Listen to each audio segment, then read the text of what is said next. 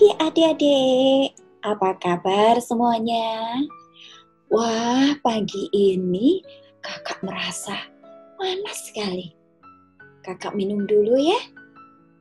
Hmm, sepertinya air ini segar sekali.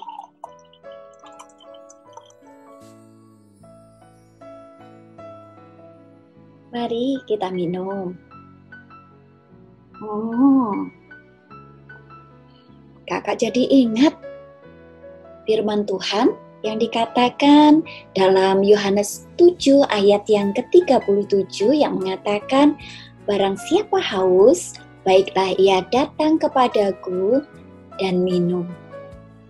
Nah, adik-adik, semua orang yang haus diundang untuk datang kepada Yesus. Mereka yang datang dan minum pada Yesus, hidupnya akan mengalirkan aliran-aliran air hidup. Air yang digambarkan sebagai Roh Kudus itu bisa kita maknai sebagai berikut.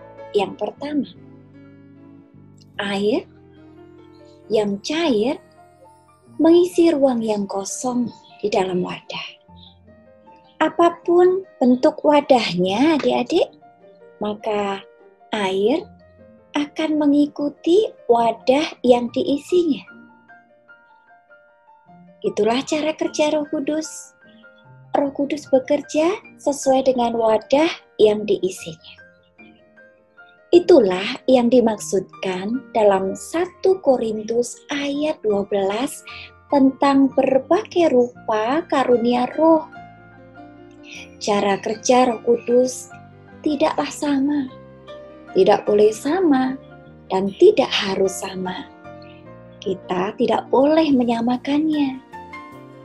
Makna yang kedua, air di sini bukan air yang diam, namun air yang bergerak mengalir seperti di sebuah sungai. Itulah adik-adik ciri kerja Roh Kudus pada kita seumpama air mengalir, bergerak, demikianlah kita anak-anak Tuhan yang memperingati kedatangan Roh Kudus di hari Pentakosta ini. Kita harus mau memperbaiki diri kita terus-menerus. Kita harus berubah kita harus bergerak agar hidup kita semakin serupa dengan Bapa yang di sorga. Mari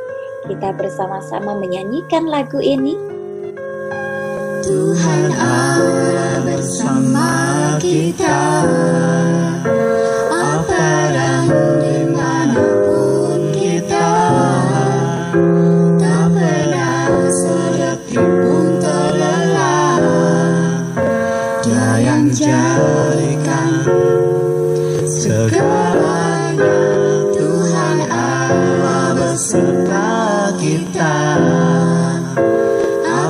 Yang di mana pun kita.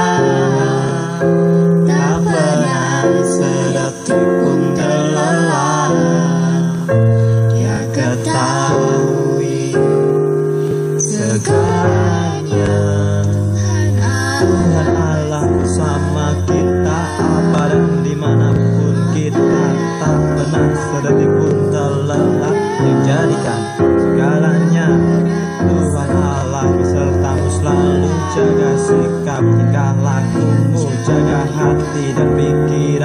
Jangan sampai di hatimu.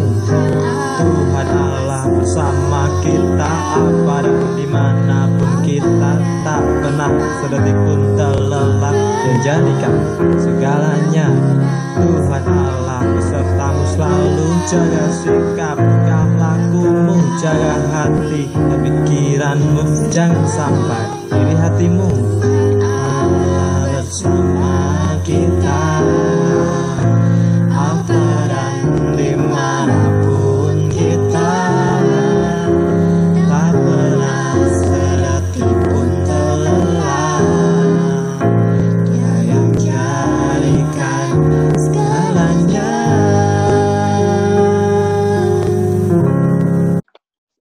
Adik-adik kita berdoa. Ya Allah Roh Kudus, mengalirlah di hati kami, agar dari dalam hidup kami mengalir aliran-aliran air hidup yang boleh menyegarkan orang-orang di sekitar kami. Mampukan kami melakukan perubahan yang nyata dalam hidup kami, meninggalkan kebiasaan dan perilaku buruk kami yang sering kali kami masih suka berbohong, tidak jujur, tidak patuh, tidak rajin beribadah, tidak mau mempersembahkan talenta kami bagi Tuhan. Kami mau semakin sempurna dan semakin serupa dengan Engkau. Biarlah roh kudusmu yang kami peringati kedatangannya hari Pentakosta ini menolong kami menjadi pribadi-pribadi yang semakin baik dari hari ke hari. Amin. Sampai jumpa adik-adik pada ibadah-ibadah kita yang selanjutnya. Tuhan Yesus memberkati.